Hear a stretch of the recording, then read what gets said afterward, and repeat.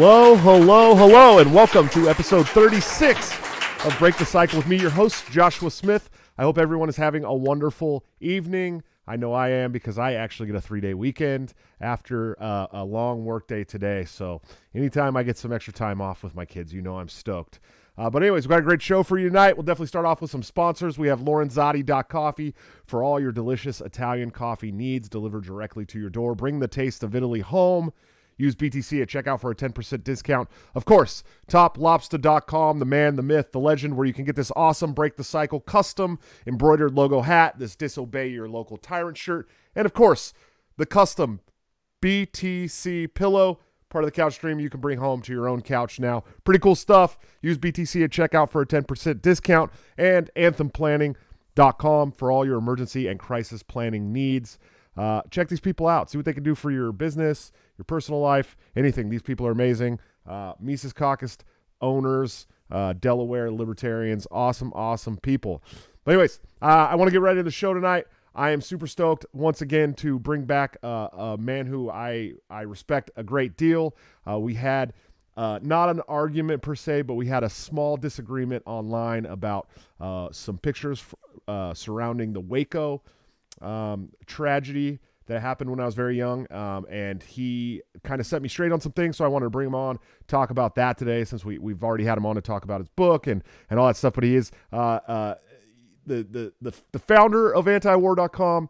Uh, no, no, no, no, no, no. Sorry. Sorry. Uh, I'm the editorial director. Editorial, editorial. director. He's back there somewhere. Uh, he is the author of Enough Already, uh, Time to End the War on Terrorism. He is Scott Horton. How are you doing today, sir?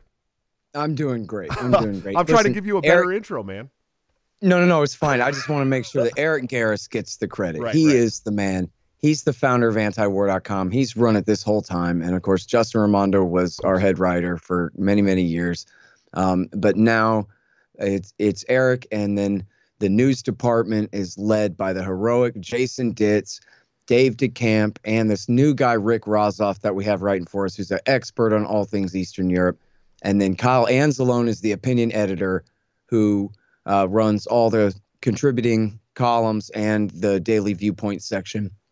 And all those guys get the credit for making the page what it is every day. And it is the most important website on the internet, antiwar.com. Thank you very much. Sure, sure. Yeah, absolutely. I was I was totally, you know, I know what you do, Scott. I've introduced I just want to make sure the boys times. get the credit. And then I was like, I do a lot of interviews. I get a lot I do a lot of interviews and I think people assume that I play a bigger role on the site than I do at this point. And I just want to make sure they get the credit for the work that they're doing because they're the ones really doing it. Yeah, absolutely. I, I uh, like I said, I know what you do, and and uh, I've introduced you more than one time, so I should have known better. But anyways, uh, no, so, that's fine. So we had this little disagreement. It wasn't really disagreement. I I was talking about uh, David Chipman, who is likely to be the, the head of the ATF. Uh, he was definitely yeah. he was definitely involved in Waco. Um, there's a there's a famous picture uh, of uh, an ATF agent standing around smoldering ashes. Um, and there's definitely bodies in the picture that have burned up. And it's always kind of just been, as far as I'm concerned, and a lot of other people, uh, it's just kind of been recognized that that was him in that picture. And, and when I posted it and talked about it, you said that that's a lie and it's not true. So I want to get some more information from you uh, about Waco. I actually did my first episode of Break the Cycle, the video, the video version about Waco. I you know I I, great. I knew quite a bit about Waco, but I went and watched a great, wonderful uh, documentary called The Rules of Engagement. Um, yes, amazing, one of the best documentaries, uh, probably the best info about that that that whole entire ordeal that you can find. Um, and I did my first episode. It was a great episode. I, re- I really, you know, I didn't know what I was doing yet as far as podcasting went, but um, so I just have always just kind of thought that that was him. But so so I mean, where where are you? And and as far as Waco goes, where what? I mean, I'm sure you have way more knowledge of it than I do. But what you know, who is? Do you know who that person in the picture is? No, not exactly. But let me clear up a couple things. First of all, my first show was about Waco too. Oh, nice. That was in 1998. And um, I actually, back in the 1990s, I used to be a regular guest on the Alex Jones show when he was still on the FM, like 1996, 97 era, to talk about Waco. And I give him credit for really spearheading an effort and got, he organized a lot of people with his radio show to come together and rebuild their church, their chapel for them on that property there in 1999 and 2000, which was really awesome. And I played a small part in that. I'm not taking credit for it, but I, am proud to have been associated with all that. Um, but so as far as, and we can talk all about what was going on there, but I think you're just in your question, even you assume that the person in that picture was ATF, but that is a huge stretch right there. And the fact of the matter is, that if anyone from ATF was around with a rifle shooting at anybody or killing anybody on April the 19th, then that they were off the books. They were acting as, you know, private, unpaid hitmen getting revenge, which is possible that the FBI and the Army Delta Force let a couple of ATF agents come and get revenge for their fallen friends, but without badges, you know, something like that. But there's no evidence that that happened. None. That's pure speculation that any ATF agent would have been on the scene or involved in any way in what happened in the assault on April the 19th. That was the FBI. You know, ATF did the raid on the first day on February the 28th. The FBI took over that night. And, you know, at that, it's different now, but at that time, ATF was under Treasury. And so once the Justice Department, led by the FBI, came in, they're out. And so then that was it. And then the FBI ruled the place for six weeks. And then the FBI and the Army Delta Force went in there and exterminated those people, killed 86 of them. True. Okay. And so then there's every reason, Josh, then to think that whoever is in that picture is an FBI agent, hostage rescue team, which is essentially special operations forces just working for the FBI or a member of the Army Delta Force. It's much likely a member of the Army Delta Force because I don't think they would be posing. That's top tier special operations forces. They don't pose for pictures over burnt Texas corpses, I don't think. And you mentioned the movie Waco, The Rules of Engagement. In that movie, Mike McNulty identifies them as members of the hostage rescue team. Sure. And there's three different pictures. I'm almost certain there's three different pictures of, of trophy pictures of them standing with rifles, uh, three different men standing over a burnt corpse in the background and the ashes of the house there. And so then I, when this started coming out, people just started saying it was Chipman. The first time anybody heard this guy's name is when he was nominated. Um, you know, I mean, other than maybe specialists knew who he was, but he had never been famous for any of this. Um, but he got nominated to lead the ATF. And I don't know who was the first person who did it, but just somebody just said, well, that's him. Look, there he is, white guy with brown hair. It's got to be him. What? That's a 30 year old picture. In fact, if you just probably add, a, you know, do the ages of the guy in the picture there and the 30 years, 28 years that have passed since then, then wouldn't Chipman be older than he is right now? I mean, just on the face of that, I'm not sure, but that was 30 years ago. And anyway, there's just no reason to believe that he was involved in in the action that the assault that they said it wasn't that took place on April the 19th, which was the hostage rescue team and the Delta Force. So then I contacted the archivists at the library at Baylor University, and they went digging through the archives and they couldn't find it anywhere. And I contacted Dan Gifford. You know, Mike McNulty is dead now, but I contacted Dan Gifford, who was the producer of Waco, The Rules of Engagement, and Waco, A New Revelation. And I interviewed him on my show. And I forget now if we talked about this on the show or not. I think we must have that he couldn't verify who that was. But if you go back and watch the movie, and actually I didn't go back and watch the movie, but I did read at PolitiFact, they quoted McNulty from the movie saying, Here, these images portray the attitude of the hostage rescue team that standing over their vanquished enemy, something along those lines. And then here's what we actually do know about Chipman was that he was brought in to help prosecute the case against the survivors in the trial in right. San Antonio on the on the conspiracy to murder uh, ATF agents and murder of ATF agents uh, charges. And so, uh, in in essence, well, I'll get to that in a second. But just to stick to the story here, as far as anyone knows, there's no record of him being at Waco at all. And when they asked him um, about it, he said that one of the reasons that he was brought in to help prosecute the case was because up until then he hadn't had anything to do with it. And so anyone who was involved in seeking the warrant, anyone who was involved in setting up the raid, that those people you wouldn't want to have them on the prosecution team. You want to bring in a fresh group of people without a conflict of interest there to make the best case on their behalf. You know, you being in this case the ATF taking care of their own people, right? So that was his his association here. And and honestly, the only thing in the world linking him to the guy in the image is that he's a white guy with brown hair. Period. Full stop. That's it. So you did it too, and so did I, and so did everybody. It's totally crazy. It's nothing. It's it's you know substanceless speculation. And then you have this hack journalist from the Daily Mail, which if you don't know, is has a reputation, of course, of being like the National Enquirer. It is a tabloid, and they're sloppy as hell all the time. And so this lady, I think Carolyn something, put out this thing, and in her article, she claimed we confirmed it that it's Chipman in the picture but she didn't confirm shit. And I sent her a direct message on Twitter and said, Tell me how you confirm this because I'm doing the work. I'm calling, I got the guy at Baylor University running to the other building to dig through the file cabinet for me right now. So tell me how you confirm this. And she says, Well, the photo desk confirmed it. And I said, Okay, great. Well, tell me how the photo desk confirmed it. Could you please ask them how it was that they confirmed it? Because I would also like to confirm it, please. Because if this guy is standing gloating over the corpses of burnt Branch Davidian children, I want to know about that. Okay? So please tell me how it is that this was confirmed. Crickets. Nothing. And the answer being she's full of shit. And the so called photo desk, they went and looked at your Twitter. So, well, Josh seems to think so, and that'll be good enough for them. Sure. Right. And then I got good libertarians going, well, it was in the Daily Mail. Yes, yeah, so what? It was in the Daily Mail.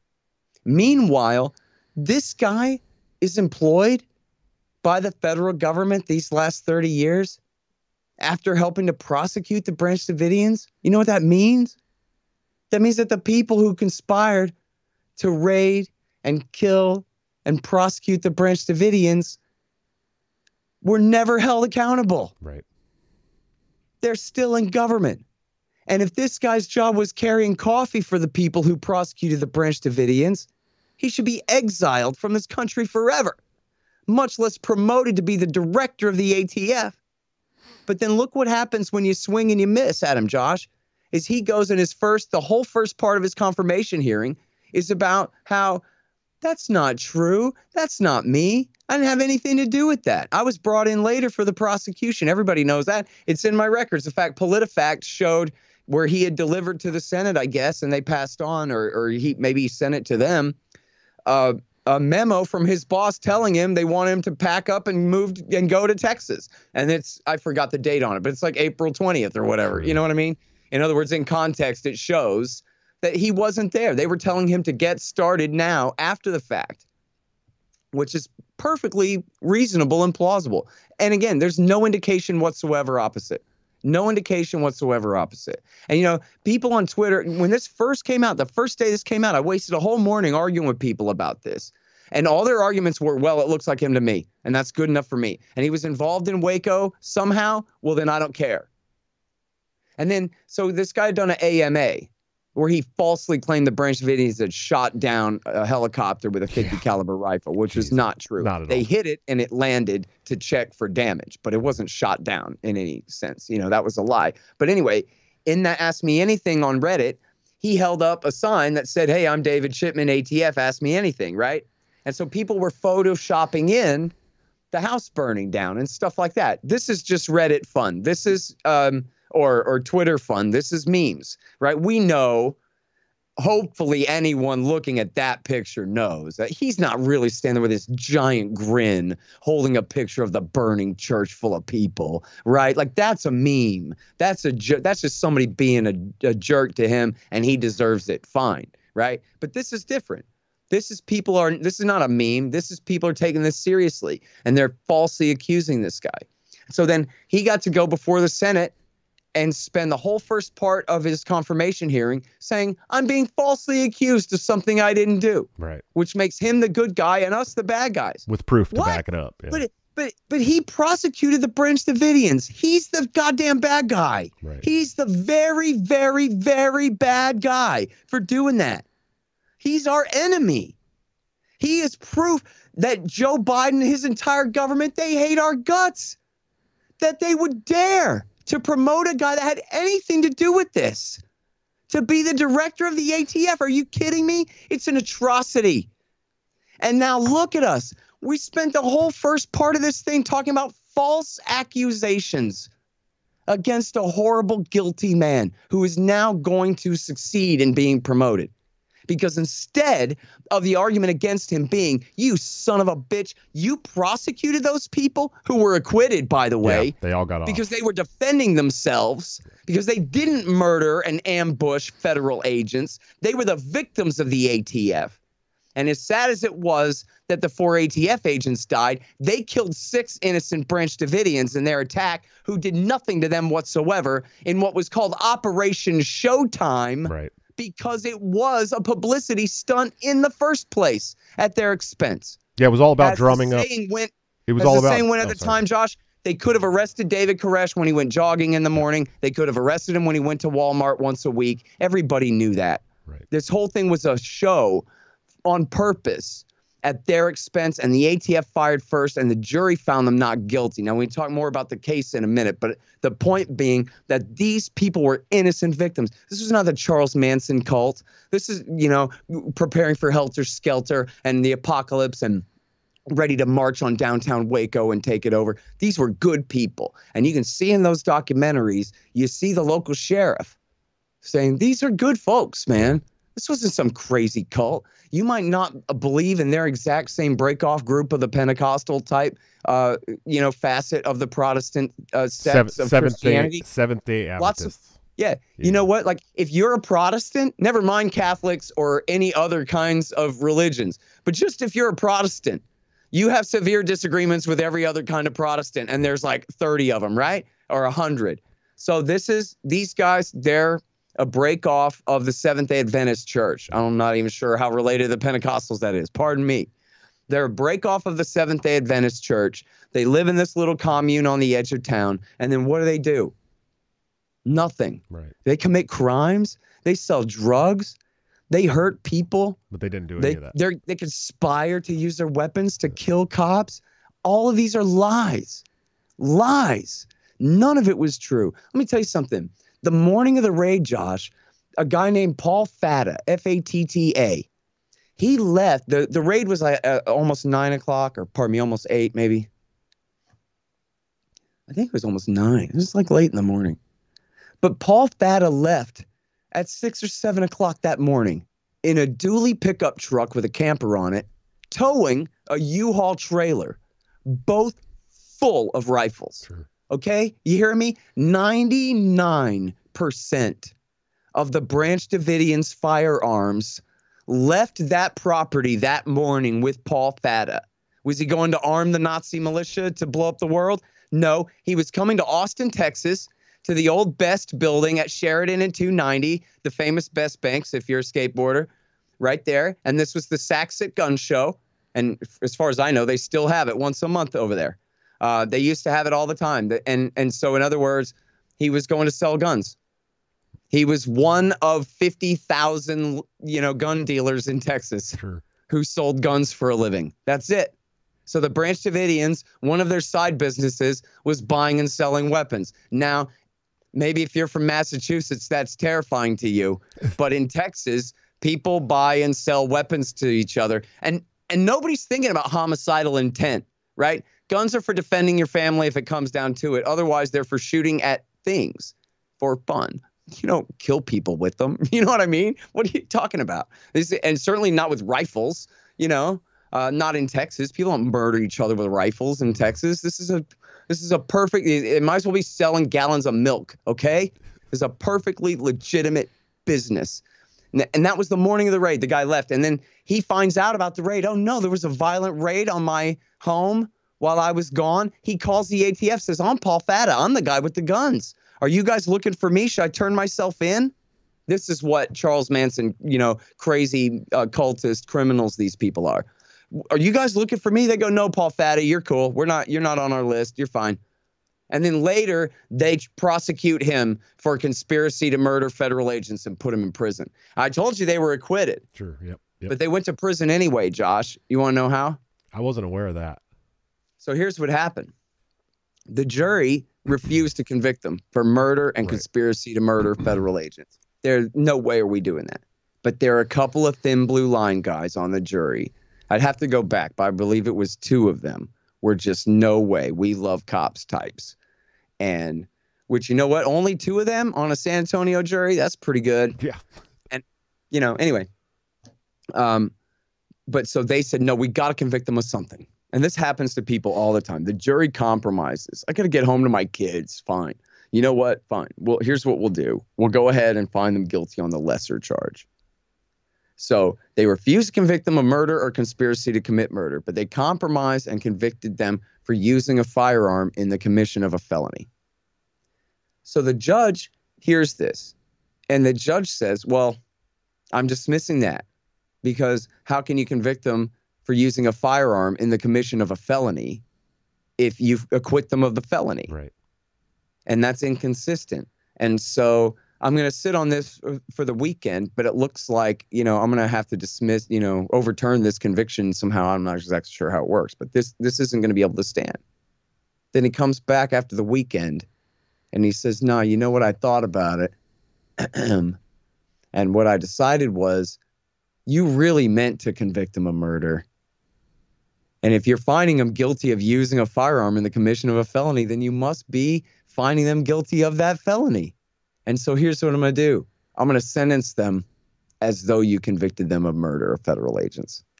And then he put these people in, or gave them the maximum he possibly could on the firearms charge, which was like 15 years each for these people, for almost all of them. Got you know maximum 10 and 15 year sentences for the the firearms charge because he held the the guilt for the murder of the cops against them, even though they'd been acquitted on that. Jeez. And so use that as the loophole. And then they did decades in prison. Some of them did 20 years, I think.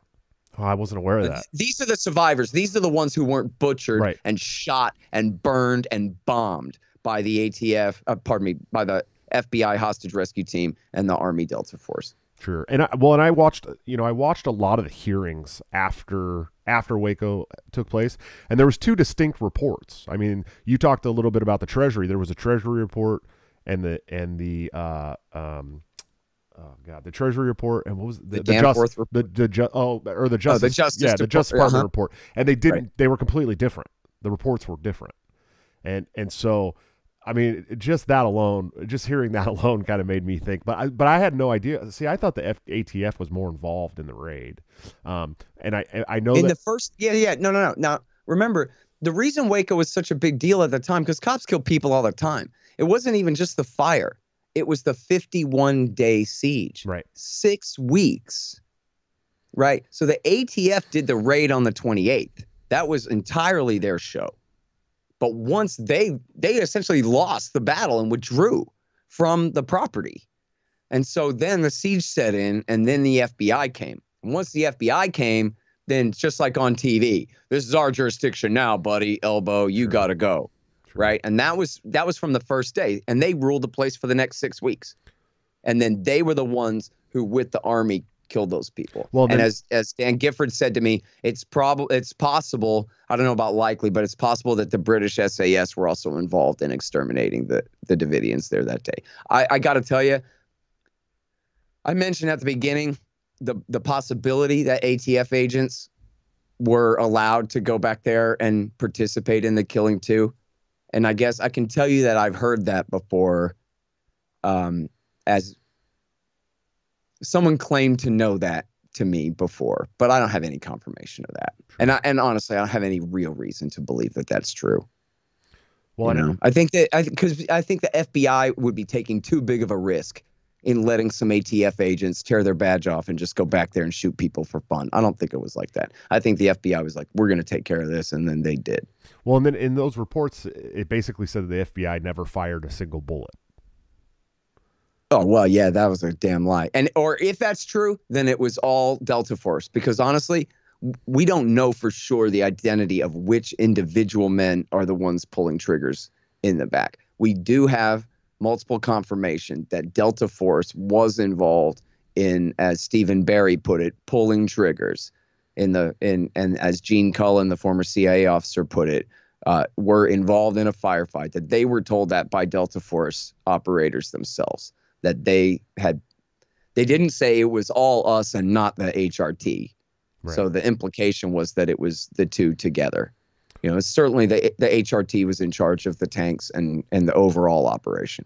Sure, and I think uh, something else that is literally not talked about enough uh, uh, that revolves around all this is this was right before they were getting ready to have like hearings on on funding for uh was it, was it the FBI or maybe the ATF for the ATF it was the ATF yeah no right? so listen right this is a month and a week into Clinton's presidency okay this is a very you know the end of February 93 and part of the whole theme of the Clinton presidency coming in was reinventing government. Right. We've got this wonky wonk Senator Al Gore as vice president, and he's going to be in charge of cutting waste, fraud, and abuse, right? This marginal kind of crap that they push.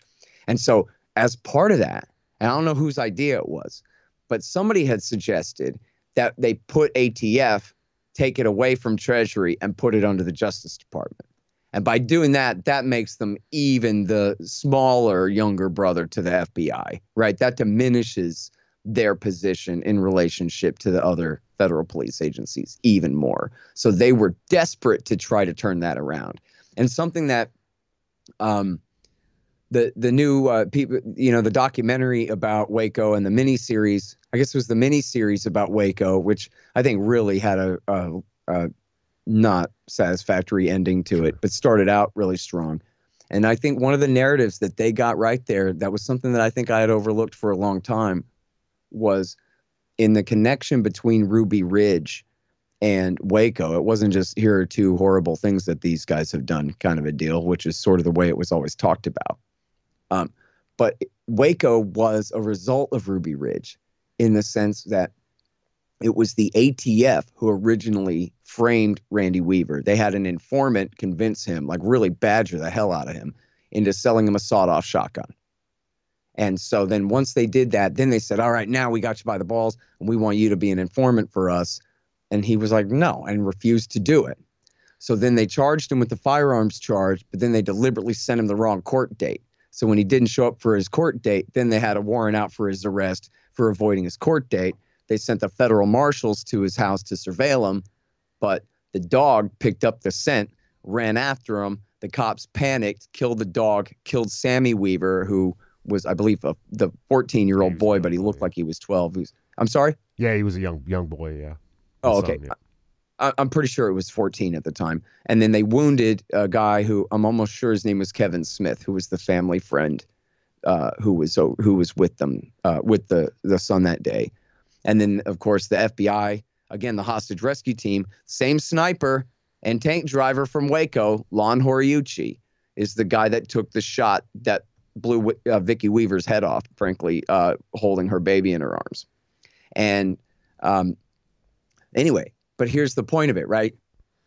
The ATF got the marshals and the FBI into a bunch of trouble in that one.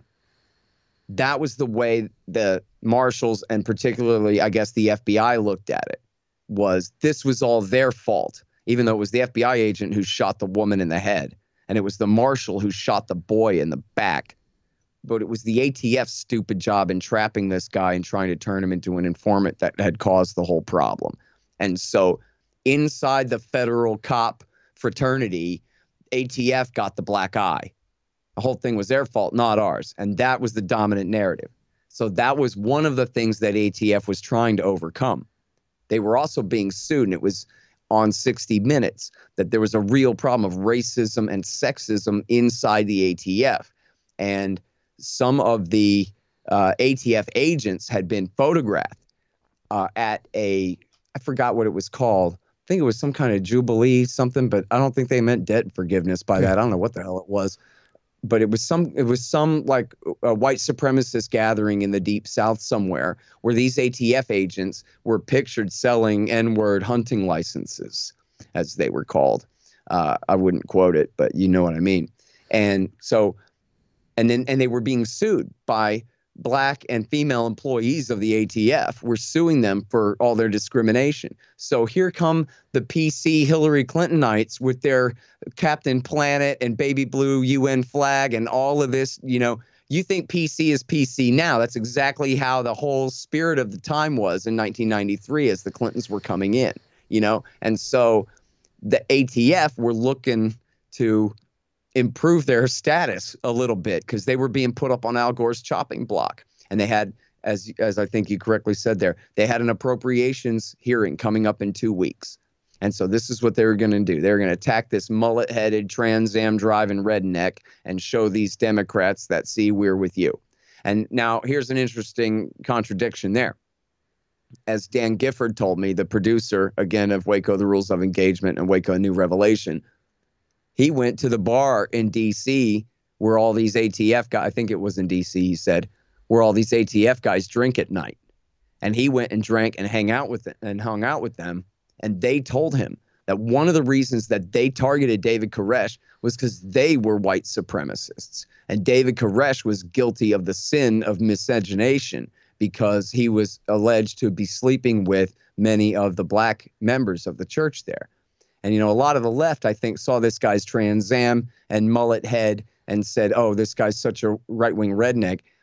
They just didn't even entertain the possibility or the likelihood that fully like a third of the population of that church compound there, that that commune there, were black, and including I think it was uh, Martin Smith was the second black man ever to graduate Harvard Law School. Right. Was there as a religious scholar and he's the guy that calls 911. In fact, if you want, I'll play the audio for you of him calling 911. Should I do that? I can play it right through. It'll pipe right through, Josh. Yeah, if you want. Of him calling 911 during the original ATF raid. Yeah, it'll pick up and, any audio uh, you play. So. Yeah. So well, let me see if I can pull it up easily here. Uh, and while you're while you're doing that, uh, we got a couple super chats. Jake Riley, per, you, you, actually went right into what the super chats were asking, so that's perfect. But Jake Riley said, "Have either of you two done research into Ruby Ridge and how the a- ATF bungled that situation?" Yes, uh, Scott has yes. done a lot. I have done a little. Let me bit. say one more thing about that. Let me say one more thing about that. Alan Bock, who also used to write for Antiwar.com, he died some years ago now. He's such a wonderful guy. And Alan Bock wrote a book called. Um, uh, um, uh, Ambush at Ruby Ridge, and is absolutely fantastic.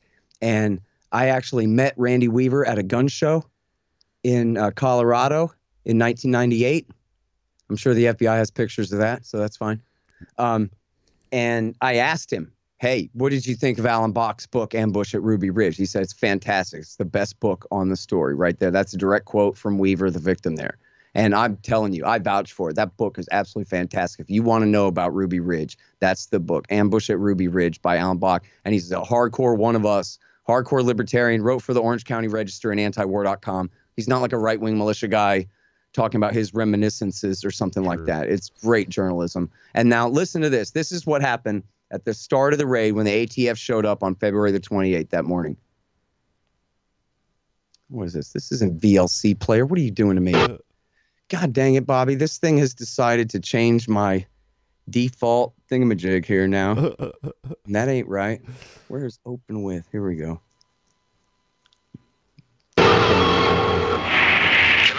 Yeah, the 75 men around our building and they're shooting at us at Mount Carmel. Mount Carmel? Yeah, tell them there are children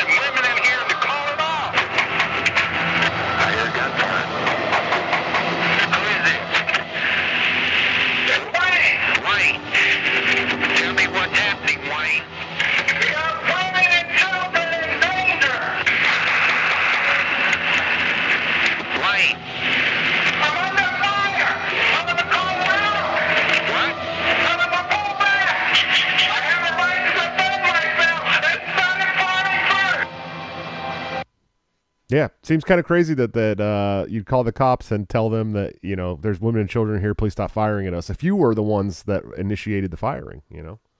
Well, and the local sheriff, you notice he calls him Wayne. He goes, "Oh, it's Wayne." Yeah.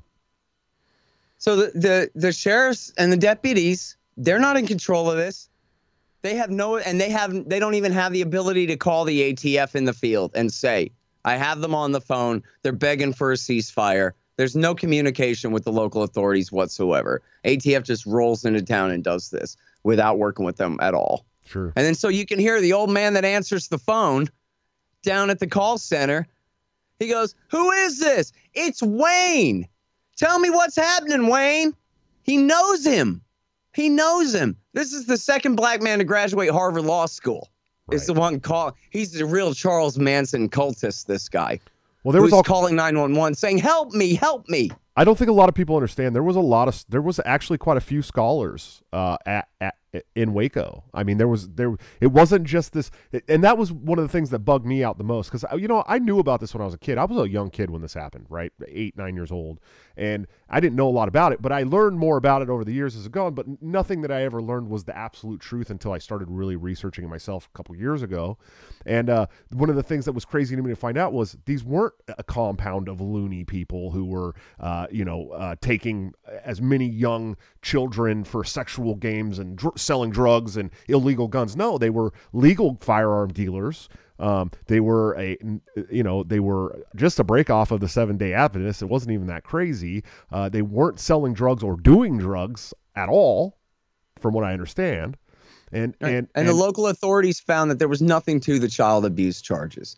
I mean, and frankly, this is the law, and I'm not saying that I agree with this whatsoever, but the law at the time, I think maybe even still, is 16. is that in Texas, with parental consent, Yeah. 14 years old 14, is okay. old enough.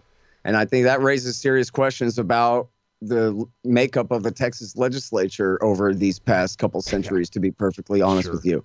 Um, but uh, it seems like that's something that could have been updated decades ago. Oh, what are they doing? This Right. ain't the frontier days or what? I, I, don't- I have no idea how Right. that's and I and I've or never even was on the books in 93 i don't know if that's still the law now but but they had been investigated and look i think it's clear that koresh was taking liberties with his followers wives and saying look it says in the bible here i could screw your wife pal and getting away with that kind of thing but that's not a crime and and even again even you know if if it is true the allegations about 14 and 15 and 16 year olds that's a moral crime. I consider it one and i wouldn't mind throwing them off of something tall for that. I don't care. Sure. but but it wasn't a legal crime and it absolutely had nothing to do with the jurisdiction of the Federal Bureau of Alcohol, Tobacco, and Firearms whatsoever. And the local child protective services had been out there and had checked into it and had interviewed the kids and had not separated anyone at all and had found that it was fine. well, In there fact, was there the were second- several. There were several In the second documentary, agencies. they interview the lady in Yeah. Waco a New Revelation. They interview the lady from CPS. And she says, We went out there and we checked and it was okay. Yeah, there were several. We there were no several uh, local agencies that had actually been out there to check on numerous claims that they never found any uh, any kind of And- evidence of whatsoever. and part of it was there was a guy who was like a, a cult deprogrammer who hooked up with the ex-husband of a lady who didn't approve of her and her children being there, which you could understand his concern. sure. But then this became the kind of thing, sort of like with the Daily Mail tabloid thing. Let's make a bunch of accusations and see what sticks and who cares, you know? And so that kind of, then it becomes like on the tabloid news shows, a current affair, a crazy cult in Texas where this guy believes this crazy stuff and what, you know, and then it has to be portrayed in that way. And so then, you know, the Dallas Morning News, or was it the Waco Herald Tribune, had started to run like as prep for the raid. I forgot this story. I forgot. No, I'm sorry, Josh. I have to go back and look now. If this was like just in the weeks right before the raid, or this was just after. I think it was before the raid. They started running this series, The Sinful Messiah. Oh, uh, yep, yep. This horrible David Koresh who controls these people and all this stuff. And you know, honestly, Josh, I think if your sister had joined that group, you'd have marched down there and grabbed her and drug her right back out of there and said that, you know what, I don't like this. Sure. You know what I mean? Probably wasn't. It probably his the le- his level of authority of those people, to me, cross my line for anyone in my family. But send in the stormtrooper squad right. to decide this for other people? No way, man. In China, maybe, Sure. right? And by the way, small footnote: Bill Clinton admitted under oath in '98 that really he told Reno to go ahead. He gave the order to Reno to go ahead. And of course, he had to have given the order to the Delta Force because the Attorney General doesn't control the Delta Force under any circumstances whatsoever. Right. Unless, I don't know, every other executive official above the or, or or everyone else on the cabinet was dead Yeah. and the attorney general was the sole survivor and has just been sworn in as president. That's the only way the attorney general could tell the delta force what to do. So we already knew this was bill clinton's fault anyway. They blamed her and she deserved the blame because she went along with it. She could have stopped it. She could have said absolutely not. And she said go ahead. But Thankfully, she took the uh, celestial discharge before she had a chance to burn down any more churches. You know, yeah i don't know what that means The what does that mean She died. oh The celestial discharge. I don't understand stuff. Listen, point being, Clinton, when he uh, gave the order, when he admitted, and it's in the logs, right? We know from the White House logs and everything from the lawsuits by Judicial Watch and the rest, that when Clinton was watching Waco burn, he was sitting on the couch with James Riady, his Chinese intelligence connection who helped bankroll the campaign of 1996. Who then he put his right hand man John Huang in charge of licensing uh, missile technology transfers from Loral and Hughes at the Commerce Department. Uh, it was it was for people who remember the Clinton years. I, I know you were younger. I'm I'm a few years older than you. I was I was I was uh, 15 or so when Waco happened. But in the Clinton years, there's this huge scandal about John Huang and James Riady. And then what TV did, just like they would do today, I know you could understand and relate to it. What TV did was they just changed the subject to this guy named Charlie Trie and this other guy, you know, Wen Ho Lee, this this um, heroic, you know, loyal American scientist at a national laboratory who didn't do anything, and and they and a guy named Johnny Chung, another fundraiser named Johnny Chung. So they just said, well, look, all these Asians look alike to you, right? So instead of talking about this huge important scandal with John Huang and James Riady, we're just going to talk about Charlie Trie and Johnny Chung and Wen Ho Lee instead you dumbass Americans, and you're gonna love it too. And that, and that was what happened, and it worked. And then everybody said, "What's the big deal with Johnny Chung anyway? He raised a little bit of money." Yeah, exactly. Right. Well, um, anyway, well, we got couple. he was watching Waco burn with his Chinese intelligence connections. course. Which, like, look at this. Like, you know, a, a Christian church without tax exempt status registration with the IRS, right? We're going to get them, which is exactly the kind of thing that you would expect to see in China. I don't know if the Chinese would have sent, you know, special operations forces to No. burn them and machine gun them. I the don't know Chinese, why not, the Chinese, the CCP would not have done it as badly as as the Americans. They probably would have just gone in there and arrested people without firing a shot, is what they probably would Yeah, have done. Exactly. Yeah. Uh, we got a few more. s- But then su- again, in China, chats. they wouldn't have been armed. The Davidians wouldn't have been armed in the first no, there would have been. They definitely would have been gun dealers for sure. Um, we got a couple more uh, uh, super chats. Top Lobster says they sent that young black kid to the wrong Zoom court date recently. That's creepy. Uh, Drywall O says Scott Horton for CIA director. Ha! Wouldn't that be fun? You're fired. You're fired. You're fired. We're done. You're we're, fired. we're closed. You're fired. I'm fired. We're closed. That's it. I hereby resign. My work is done. Uh, Nolan Harris says Scott, is there going to be an audio book for enough already? Yes, I'm working on it, man. I'm, I'm at Libya right now, and I'm sorry. I'm just so swamped doing everybody else's shows and and not doing my own work. Well, you just got to do a pretty cool show. You were on uh, Timcast. That that's a pretty big show, man. Yeah, that was a good deal, and I got to skate his mini ramp too, which Yeah, was also. I rad. saw the pictures of that. I was like, oh man, Scott and Timcast skating together. That's so cool. Yeah, it was cool. He's got a good uh, backside kick flip to pivot. I'll give him that. And he's got, uh, you know, on his flat ground tricks, he's got a nollie hard flip. And I mean, his heel flips and kick flips are, are awesome, man. He catches them, you know, waist high or whatever. Oh wow. And then, man, he had this killer. I don't know if you're wherever a skater or anything, Josh, but I'm Oh, just rambling. He he had this thing. It was like a hang ten flip, dude. So he's riding both feet together on the nose. I'm trying to remember if it was like nose manual. I guess not. He's just riding, you know, four wheels down, but both wheel both feet facing forward on the nose. And then somehow, blam, pops some crazy nollie hard flip out of that. Yikes. Some crazy ass, you know, 180 heel flip thing, something or other. I have no idea. That's it was cool. really My, cool. I was a I was an okay skater. Skater. My brother, uh, who was like the really lazy stoner, and and Mhm. uh, was like literally could do like hill flips on like ten stair gaps and stuff like that. But he would he would only do it if you're like, hey, I'll give you an eighth. If you can do this. And then he'd go bust it, and then he'd go back home and smoke. He grew up with Corey Duffel, if you know who Corey Duffel is. Oh yeah, yeah. Yeah, him, Uh-huh. him and Corey Duffel was like the younger kid that hung out with my my brother's uh, crew, Okay. and they were all like, you know, you're never gonna be nothing or nothing or whatever. Now the guy's been on the cover of magazines, and he's a huge skateboarder Sure. now. But um, Yeah. yeah. yeah, My brother was like the lazy stoner skater who could have easily been a huge pro skater and just just was Right. too lazy to do it. So Isn't that cool? I've known guys like that too, Yeah. who absolutely have the talent that they could have been among the very top of the best, but had no interest whatsoever in being part of the skateboard business. Dude, they just want to ride and drink beers and be happy. now he's in the legal pot business in California, makes tons of money, man. So Yeah, man. you know, uh, we got another super chat.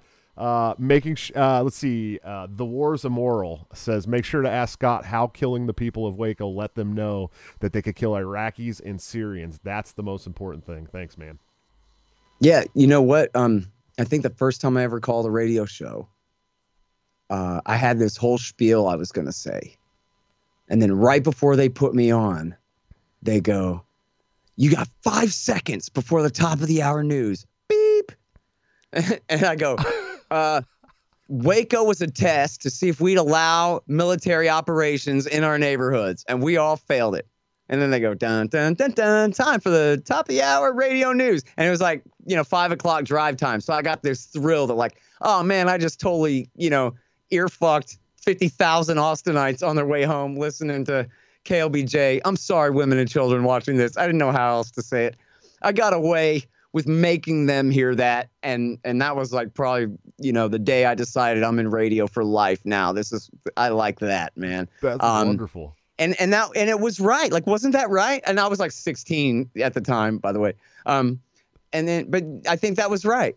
That it was a test to see like well how far can we push this really? Dude look how far we pushed it already and they're cheering for us. Sure. maybe we'll go ahead and push it a little further. And then after that the the uh, military bases all the gates went wide open for cops to come in for training all across the country. Now every county has to have a swat team.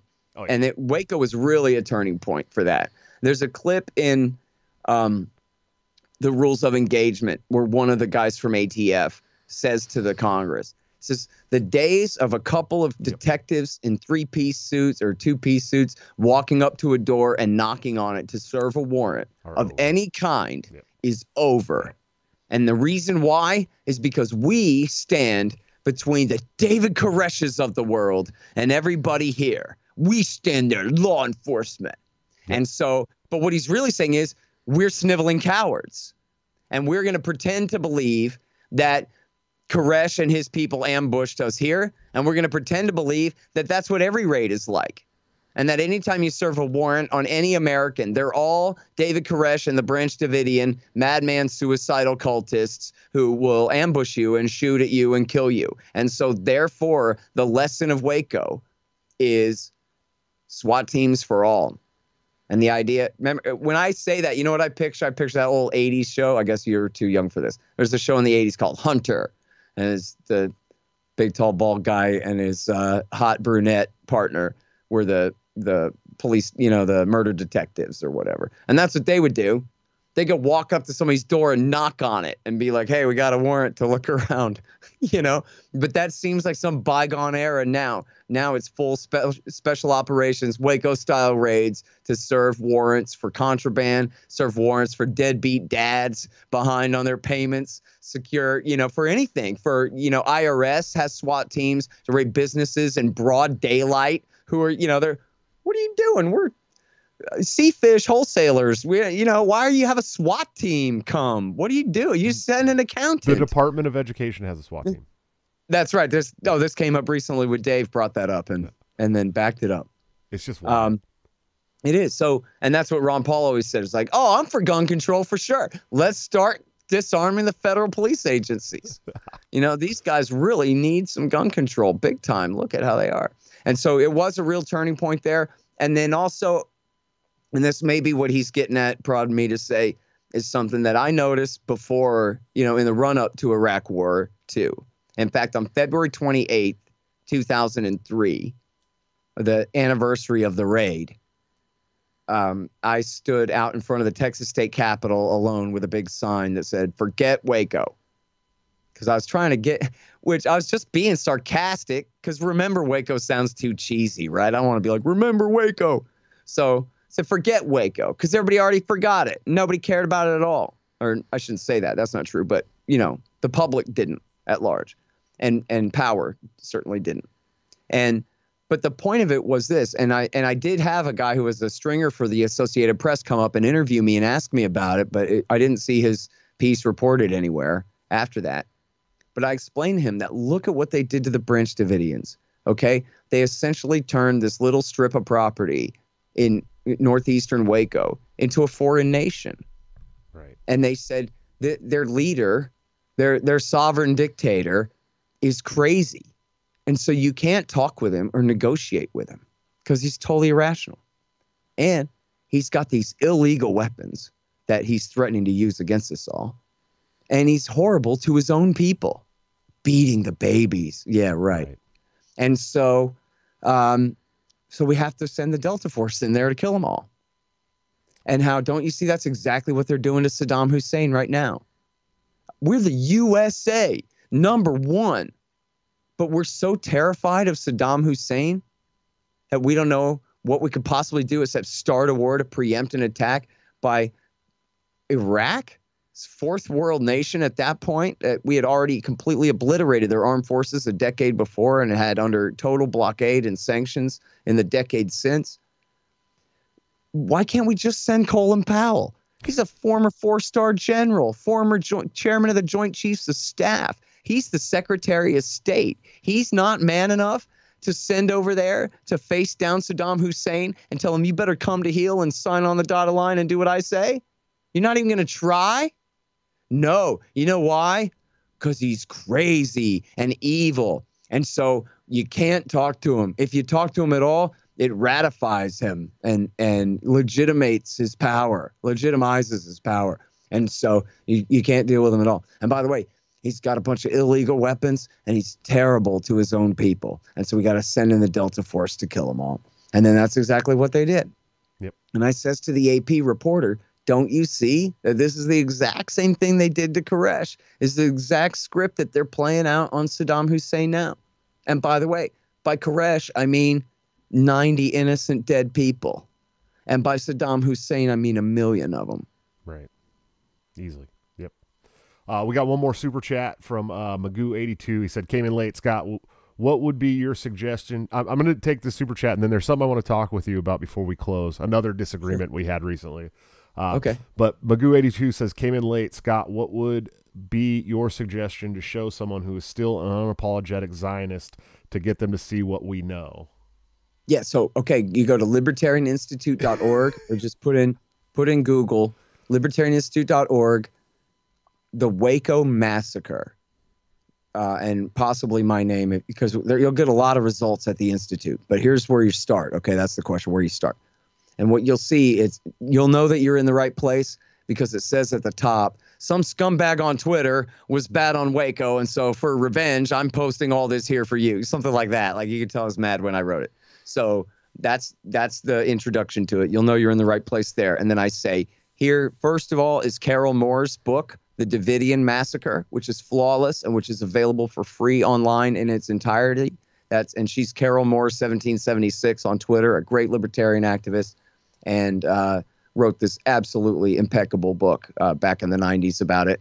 Again, uh, Carol Moore uh, with an E on the end of Moore there, and um, uh, the Davidian Massacre is the book, and then the great James Bovard, all of our hero, one of the greatest libertarian journalists in you know in the last two generations uh, has an entire archive at jimbovard.org, which includes all of his articles for the Wall Street Journal and everything else he did in the 90s and all through to the current era about Waco. All of it absolutely fantastic.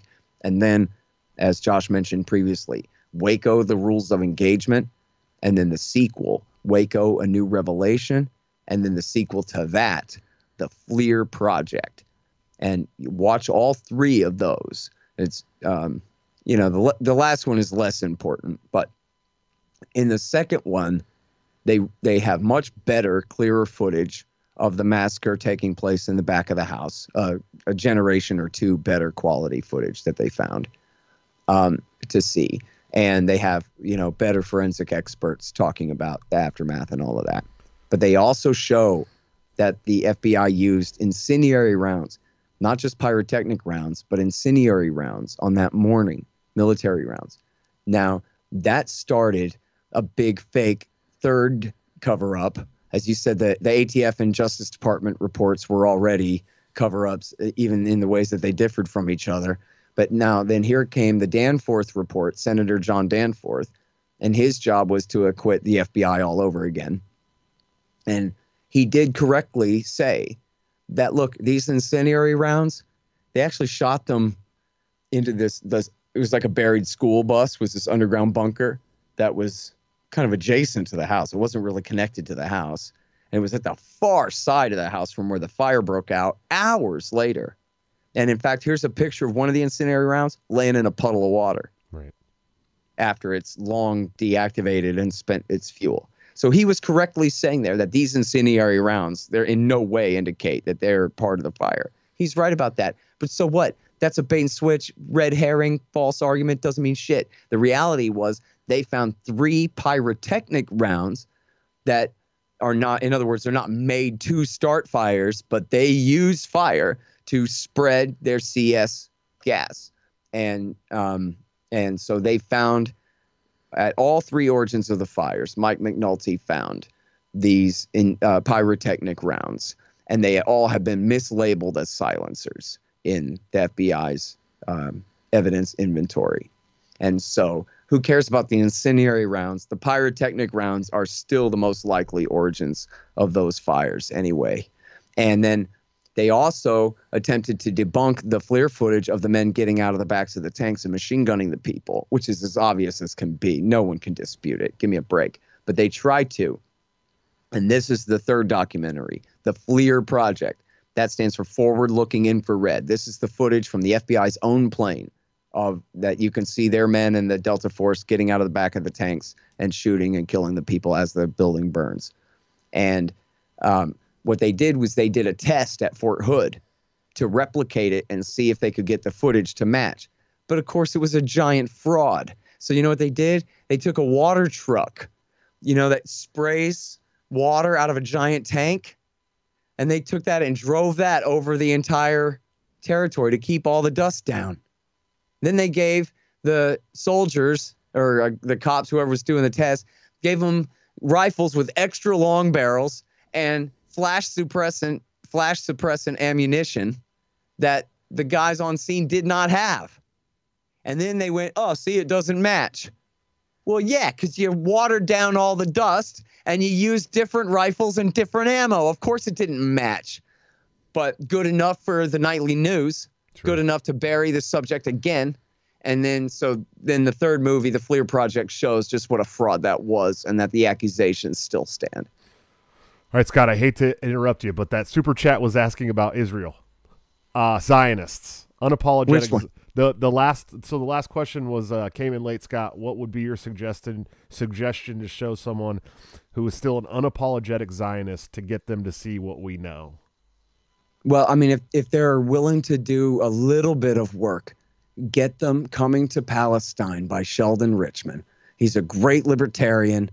Uh, you know, one of us. His other books are about abolishing government school, legalizing guns, and abolishing the IRS. Okay, he's our guy, and he's raised Jewish Zionist, and now he's not a Zionist because he knows better because he learned a bunch of stuff about it. Period. That's it. And you think about what a ridiculous red herring it is that out of six million American Jews, that were something like four out of uh, ten of them, or, or, or pardon me, six out of ten agree with the two-state solution and agree that the Palestinians should be given independence. That they all hate themselves, right? The supermajority of American Jews are anti-Semitic. Is that the only explanation for their disagreement with the Israeli government's policy?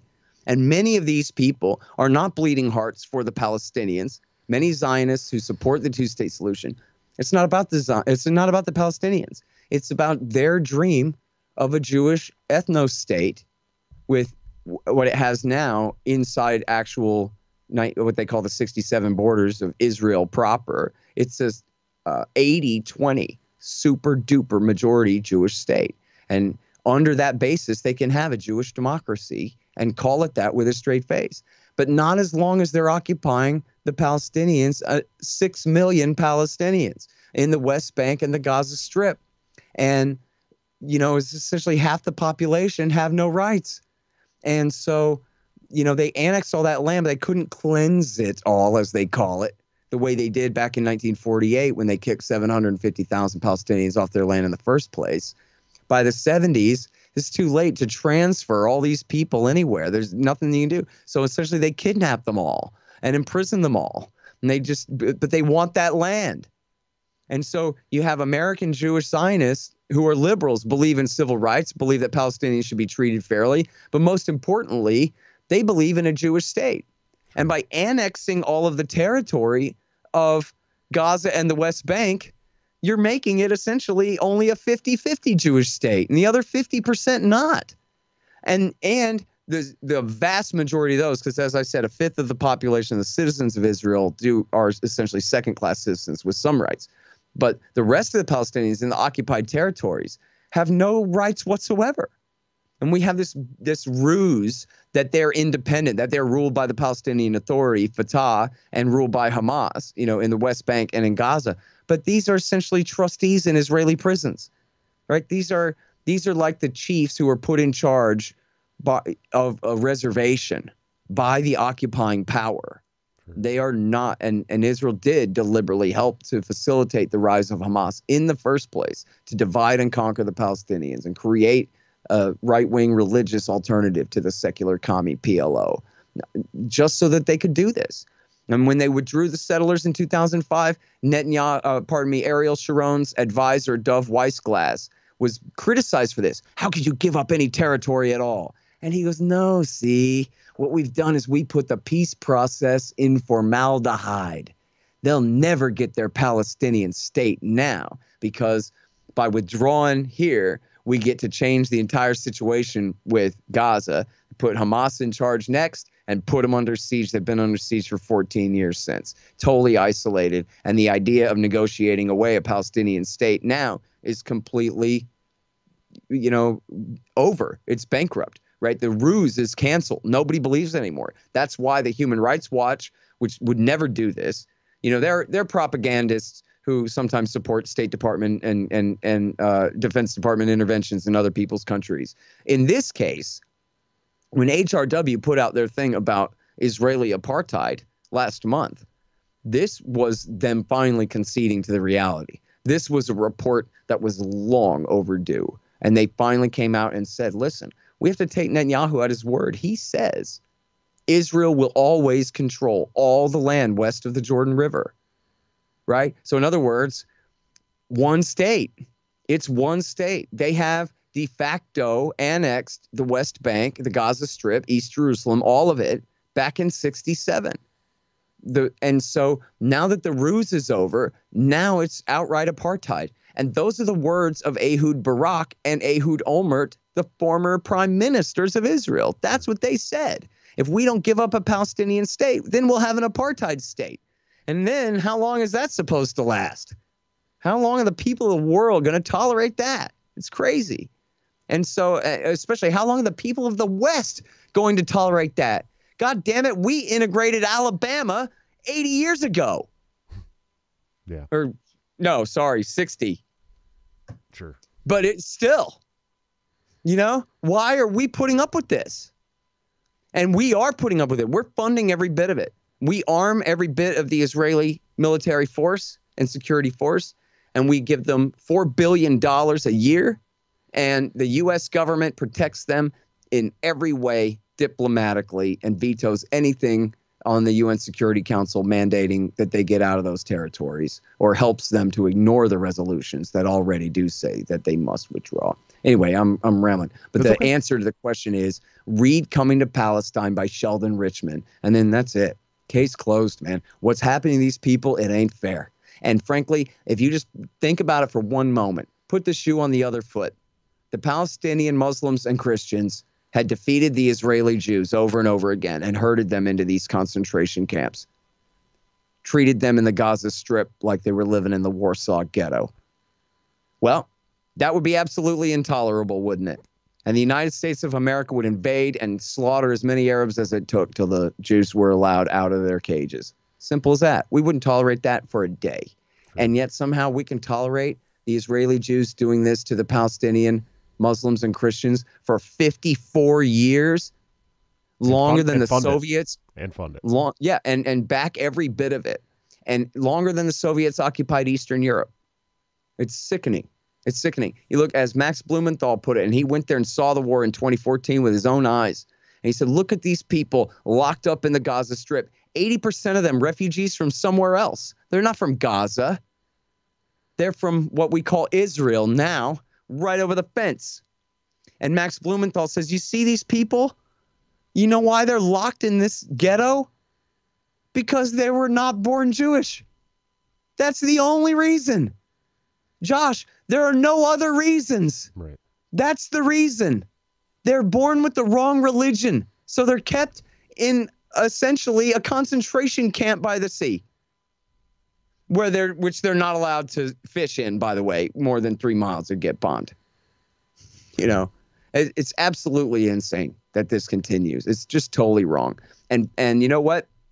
Here's what it is, man. I really believe this. The American people don't know the first thing about it. What the American people know is TV says we're on the side of the Israelis and that the other side are browner and Muslim and from the East and are scary and are terrorists. And so that's it.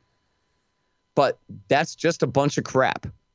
And as soon as people understand when they look at the map who's occupying who, who's confiscating land from who, and under what ridiculous, bogus excuse, and the amount of cynicism that goes in to the public relations to justify what the Israelis do, they'll all agree with me. It's just as simple as that. The reason I agree with me now is because I learned about what was really going on over there. You know, the way they portray it is at worst, both sides are invoking uh, God's mandate that the land belongs to them. And so both sides' claims are just as illegitimate at the others.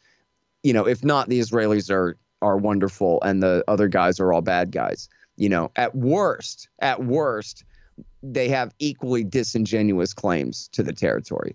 But that's just not true. The Palestinians are from there. They have plain old natural rights. John Locke homestead rights. My grandpa owned this farm. He gave it to my dad. He gave it to me. It's mine. Same as anywhere else in the world. Same as anywhere in America.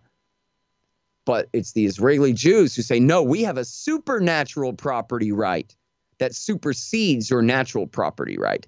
And so it says here that I can confiscate all this land and cleanse the land of whoever's standing in my way, and I can move right into your house and it belongs to me.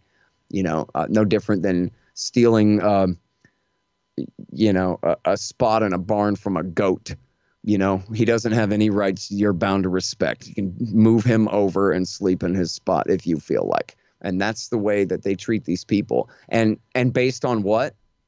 Based on the idea that their great great grandparents to the 10th power 2000 years ago had been from there well that's absolutely preposterous and under that logic of course that means that any ethnic group anywhere in the world could go and conquer and confiscate and kill civilians and imprison people torture people and do all these things to take back land that their ancient mythology says where they're from that would mean that Hitler had the right to invade Eastern Europe to recreate the ancient state of the Grand Teutons, where, you know, the original Germanic Right. tribes that had come from the East. Or that would mean that Italians in northern New Jersey would have the right to go to Sicily and kick people out of their homes and kill them and confiscate their property and move in and say, yeah, but my grandfather's from here. My great grandfather came from Sicily. So I have the right to take it away from the people who live there now. It's completely bananas. It's completely crazy. And and the argument doesn't hold up. And that's why all you ever hear from the Israelis is a bunch of cynical dishonesty, a bunch of ridiculous metaphors and analogies that never hold up. Oh, you know what? Let's stop talking about who's occupying who in Palestine. Let's pretend, Josh, that what if Mexico was attacking San Diego? Well, but now we're not talking about Israel and Palestine anymore. Now we're talking about an analogy that doesn't hold up at all. Mexico is a sovereign nation state, you know? And so their security forces attacking our civilian population is an entirely different matter than, say, if the Navajo start firing homemade rockets over the wall of their reservation at the security forces, you know, the violent security forces of the United States government occupying them and surrounding them. That's an entirely different analogy. That's a much more apt analogy, but it's one you'll never hear from Zionists. But you'll always hear them talk in analogies. You'll always hear them talk in metaphors because they can't talk about who's occupying whom. They can't talk about how, okay, yes, it's true that the Washington Post, the New York Times, the Wall Street Journal, and UPI, and Bob Dreyfuss, and Jeremy R. Hammond, and, and Patrick Cockburn, and everybody else in the world has shown that yes, Israel deliberately abetted the rise of Hamas just so that they could say, we don't have to deal with them. They're right wing religious terrorists. Mm. Everybody knows that. It's in the goddamn Wall Street Journal, for Christ's sake. Stop pretending that we don't all know that that's true. Andrew Higgins, by the way, if you're looking for the footnote there. So, in fact, maybe that's a good place to start, right? Hey, look, Ma, the Wall Street Journal, the Washington Post, the New York Times, and UPI and ne- don't even get me started on Haaretz and the Times of Israel and all the Israeli publications that all say that Israel deliberately created Hamas or helped to facilitate the rise of Hamas just to divide the Palestinians, just so they could lie to and manipulate you and say, well, we have no partner for peace because they're all a bunch of terrorists. Yeah, of course. That's why. They don't want a partner for peace. They want that land. They're land rustlers. That's what they are. That's what they're doing. And their excuses are crap. Sure. Yeah, absolutely. I, I don't disagree with you at all. So I'm not even going to try. But uh, before we get going uh, out of here, I wanted to talk about the other thing that we argued about on Twitter briefly. Actually, had a there was a long thread about Nick, Oh. about Nicholas Sarwark. Okay. Yes. Um, I so uh, long time ago when I was running for chair the first time in 2018 when I was running against Nick Sarwark, uh, WikiLeaks released this this this list of names from um, God now I'm gonna forget the damn name of the Stratfor. Stratfor right, and what was released was said to be assets, or or Said to be by who? by by WikiLeaks in the WikiLeaks release. That's what it said. This Nuh-uh. well, yeah, that's and and that's so, Show me that. Okay, hold on. Actually, I think someone just posted the uh, the article from Free Thought that had the list on it. Let me see. I read the Free Thought Project article. It's crap. And I love Matt Agorist. I promote his work every single day of my life. I think he's great. And I don't know, I don't even think he's the author of that piece. No, but that think he is piece is pure garbage. That piece doesn't have any I've never seen. Listen, you know what? Let it does I got time. I got time. You find for me where WikiLeaks That's what I'm going to look for right now. Because I think that's not true, Josh. I don't think WikiLeaks ever said that at all. And the only argument I've ever heard about what WikiLeaks said was, well, WikiLeaks said it's the global intelligence files. Well, that doesn't mean anything. That's just the title of the leak. Sure. They called the Iraq war logs the Iraq war logs, and they call the Afghan war logs the Afghan war diary. It's the same thing. It's military cables. They called the Gitmo leak the Guantanamo files. They call the Apache collateral damage video collateral murder. It's just a headline. At no point did they say the names on this Excel file, or was it XML file, are people who are informants for Stratfor. And if you can show me that, I'll give you 50 bucks. Oh man, fifty bucks is nice. I'm not gonna lie. Because Uh, this is, listen, this is the same thing as David Chipman standing over a burning corpse. Well, I don't know. Somebody said so, and I like it. But it's total crap. And listen, if you go to wikileaks.org, in fact, go to Google and type in site colon wikileaks.org space Sarwark, you'll get three results and all three are essentially the same thing. And all it is is a list of names and mailing addresses. sure. There is no indication whatsoever that these are people who work for us. And in fact, one of them is labeled something like holiday mailing list. Uh, maybe not one of them, maybe two out of the three of them say. Like these are people. And then when when asked about it, what did Nick Sarwark say? He says, My brother-in-law signed me up for a subscription to their mailing list for Magazine. a Christmas present. Their mag, his mag, their magazine. Yeah, to their magazine.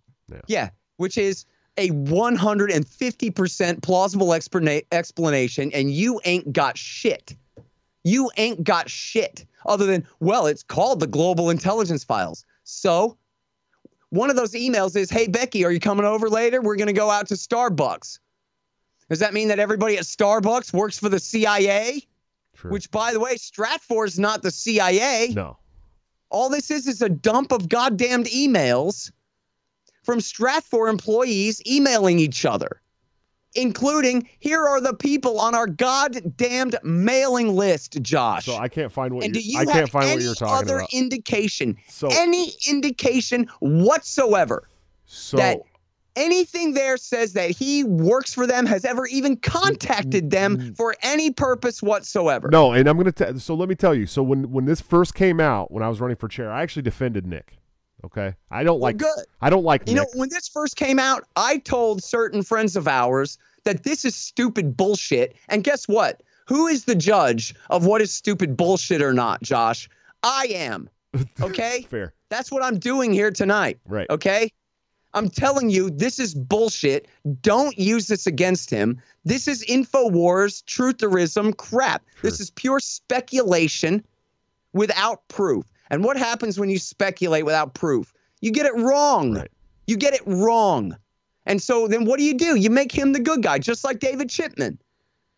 This guy, Nick Sarwark, people have plenty of honest disagreements with. But what makes him a good guy more than any other thing is that he's defending himself from false accusations.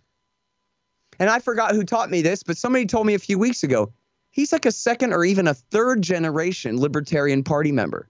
There's His folks are Libertarian Party well, people. though. He's been in the Libertarian Party his whole life. ugh, I don't. When did he? And then he was a defense attorney. Tell me when he went out to the farm and got recruited into COINTELPRO. This is all bullshit. And by the way, Stratfor ain't the CIA. I know that. Stratfor is George Friedman, who is mostly like it's mostly a bunch of open source information Sure. that they compile into subscription only intelligence briefings for their audience, just like a hundred other firms. And you know what? Actually, I think they're involved in some dirty tricks. Uh, I think they do, you know, from time to time, do you know operations to undermine people and and some things like that. But boy, I'll tell you what. In my book, I cite them on two huge things from those same global intelligence files. And that is one, Bill Clinton's ac- acquiescence to uh, the Saudis backing the terrorists in Chechnya in the uh, 1990s, and then also um, American and NATO intervention in Syria at the end of 2011, which was is much earlier on the timeline than many would have you believe, and and they have an extensive report on that. So they, you know, they collect intelligence and this and that, but to say, you know, to just conflate them with the CIA is not right Sure. and and and to presume that anybody whose name is on that list is somehow an asset of of Stratfor, much less the federal government, is just totally bogus, dude. Sure. It's yeah, just and so like I said, I, I, you know, back in the day, I used to defend him, but then it got it got harder and harder as I worked with the guy on on the board because of the way the way he acted to me was not somebody who was there to grow a movement in the party. So for me, it looked like, and and I and and I've I've never said it. I've never cemented it that you you're from the CIA, you're from this. It always did seem weird to me that he got involved with the Libertarian Party in Maryland, where he's not from. Then all of a sudden he moved to Colorado and started taking trying to take over the party there. Then he moved to Arizona, started trying to run for national leadership, and and there's the yes, there is the these. Uh, they say that he's a generational libertarian that his parents but then some information came out that his parents were actually registered, registered democrat so that was another thing that kind of messed with me really bad and then and then working with the guy closely it became harder and harder to defend him from those accusations because of the things that I saw him do over time the dirty backroom bullshit the the the obvious grabs at trying to keep the party small uh yeah, but you letting it- see how that. so I mean, that those things just don't follow. for me You know, as I said, this guy Chipman, this guy Chipman from the ATF right ought to have all of his prop- all of his property confiscated and ought to be kicked out of the United States of America forever. Yeah, I You know, agree. yeah, at- yeah, or absolutely. or given life in prison. I guess I would settle for locking him in the supermax. But that doesn't mean that he's the guy in the trophy photo. sure. It just has nothing to do with it. Okay? You know, so I got my problems with Nick Sarwark too. I've made his acquaintance. I tried to get along with him. He doesn't seem to want to get along with me too bad, but Shocking. I don't have a personal beef with the guy. I don't participate in any of you guys' Twitter fights and that kind of stuff. So I'm, I'm out of all of that. And I thought, uh, you know, in Pennsylvania, I had an opportunity to, you know, have a friendly little discussion with him up there and whatever, and and try to actually, you know, build bridges between, you know, our our group and, you know, his allies in the movement, which he does have and and to show them that you know it's not all just fangs and fighting here and that there's a lot that we can agree on. But i'll tell you in talking with him i think he really believes this too that well you and you and you you guys are all not me but he was talking to me but he was talking about you guys in the mises caucus saying well you guys are totally disingenuous you know you don't care about liberty at all you just care about hating him you just care about fighting him and look at the proof of how personal it is is after he lost and is not the chair of the party and is not even the treasurer or anything else, you still won't leave him alone. And it's all about him. It's all about hate, and it doesn't even have anything to do with liberty. And then I said to him, "But dude, that's what they say about you. That you're totally disingenuous. You don't care about any of this at all. All you care about is fighting against them." And I think both of y'all, as we're discussing here, use disingenuous attacks against each other in service of what you think is doing the right thing. I saw a thing today where he had a quote that I know he knows because I discussed it with him, is not a Ron Paul quote. It's something out of those newsletters that somebody else wrote, whether it was Jeff Tucker or, or this guy James Powell, as uh, Ben Swann documented. Most of the worst stuff in there was by a guy named James Powell, whoever that is. Um, and Sarwark knows that Ron Paul didn't write that. So here he's using a disingenuous attack against you in what he thinks is in the service of a greater good is protecting the Libertarian Party from you crazy right wing deviationists who are trying to come in and take over the thing. That's what he thinks he's doing. He's fighting for truth and justice and liberty against you crazies. And what's the proof that you're crazy? All you ever do is call him a goddamn CIA agent. You think the fucking CIA is going to bother infiltrating the LP and controlling its chairman? Is that what you think the CIA does, Josh? No. That's fucking stupid, man. And for and I'm sorry, I'm not just attacking you, but you're sitting in place of my faction, Sure, my sure. friends, the Mises Caucus. Yeah. That is a disingenuous attack. And you know, one quarter of the time, people say, "No, it's just a joke. It's just a meme." Everybody knows it's not true. It's just a good way to get under his skin and make fun of him because we don't like the guy, and so it's just a meme. And then the other three quarters of the time, they say, "No, it is too true because it's in the WikiLeaks." It's in the Stratfor. It says right there. Well, what does it say right there? It says his name and address. That's what it says. That's all it says. And then, so what's the difference? What is the goddamn difference? When our side is attacking him with lies, and then he turns around and says, Here's a quote of Ron Paul that he didn't actually say. Sure. It's the same thing. And both of y'all think that you're doing the right thing, and you're both doing the wrong thing. You know, and right before this tonight, I was defending the John Birch Society, who I don't really favor because the last time I liked them was when Will Grigg was with them. But they fired Will Grigg for being too good for them back in 2006. And Will is my guy. He came to work with me at the Libertarian, he was a co founder of the Libertarian Institute with me before he died. And so this lady was attacking the John Birchers and saying that they support eugenics. And then someone said, Well, what's the proof of that? And she has these screenshots of titles of productions of things that the Birchers had done with the name eugenics in it. But actually, even if you look right there, it says the evil racist eugenics agenda. And I happen to know about the Birchers because I used to read the New American when Will Grigg was the editor of it in the 1990s religiously. That opposing eugenics is actually one of their specialities. This is something that they know a lot about. And it's something that, as you may know, was a major facet of the progressive movement in America 100 years ago and was a major part of the inspiration for Adolf Hitler and his Nazis doing the same thing in Germany. And that's true. You know, when the Nazis would tie down a woman and cut her ovaries out, it was called the Indiana procedure. Okay, that's where that stuff comes from, is here. And the Birchers have always used that as a cudgel against the Eastern establishment that they hate so much. Right. If you guys are so PC, explain to me why Margaret Sanger talked about how the best way to get rid of blacks is through abortions and sterilizations, because there's too many of the dysgenic stock around here and all this stuff. So it's the Birchers actually not just are against eugenics, but this is like one of their niches. Is they're one of the best on opposing eugenics. They're one of the best groups that you could find who have the footnotes from every magazine and every periodical and every newspaper and every book and everything anybody said about eugenics in the last 120 years. They are the masters of this subject and they're good as hell on it. And so this liberal lady misunderstood, honest misunderstanding, although she was jumping to a conclusion. She knows that the John Birchers are right wingers. Well, right wingers means racists, and racists means Nazis, and Nazis means pro eugenics. So the Birchers, therefore, she's just certain, are pro eugenics. What a bunch of Nazis. But this is all in her head. So somebody tagged me in a response to her and said, Well, I heard Will Grigg, who's cited in her screenshots there from some old stuff that he'd done for them.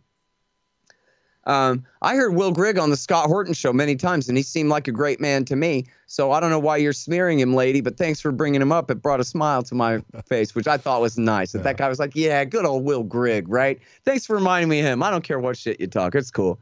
Um, but then so I corrected her, and I just said, "Listen, I'm sure that this is an honest misunderstanding." And this is not my crew, okay? The the John Birchers. But I'm just saying, look, that's my job. I defend Koresh. I defend the Ayatollah. I defend Saddam Hussein and Bashar al-Assad and Muammar Gaddafi and um, uh, old uh, uh, Abdullah Saleh in Yemen. And I defend David Chipman when people are lying about him. And I defend Nick Sarwark when people are lying about him. And I'll defend the John Birchers. The John Birchers are as PC as you could be without exploding on the issue of genetics.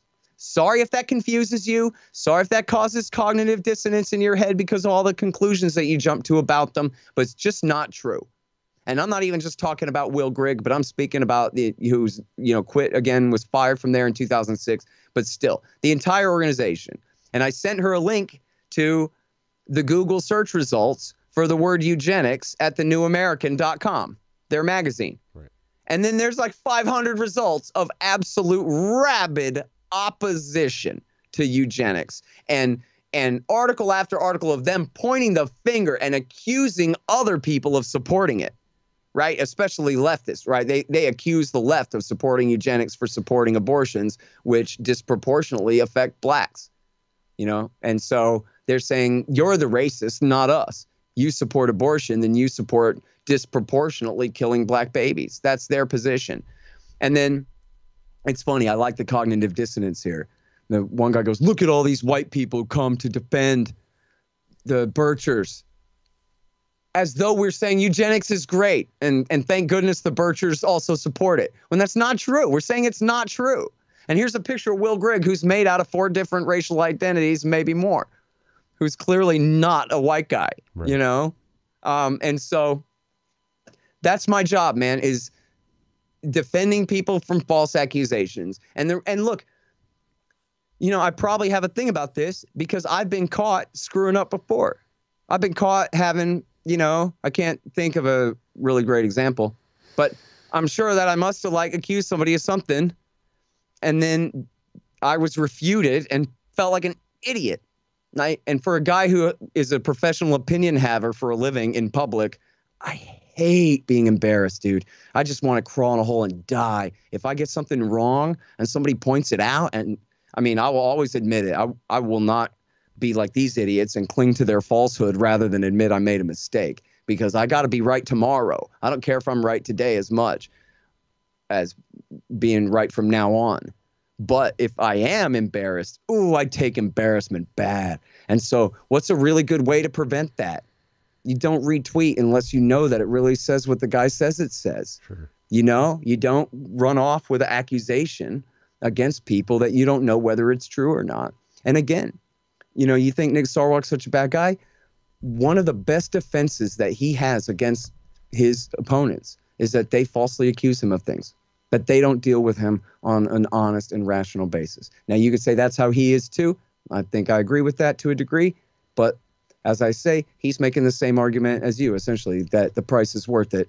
The means, the ends justify the means to deal dishonestly with people. But if our side and his side would both drop that and just argue about what we actually disagree with, and presume that the other guy is here because he thinks America ought to be a free country and a hell of a lot freer than it is right now, and that it matters, maybe we could find a lot of things to um, come together about. And one of his major arguments against you guys is it's all talk and no work.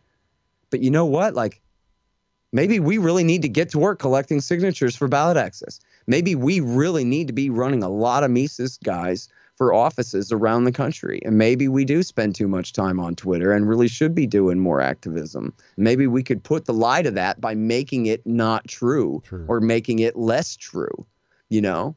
And so, and then that'll undermine that argument. Then we'll move on to the next one. Yep. You know?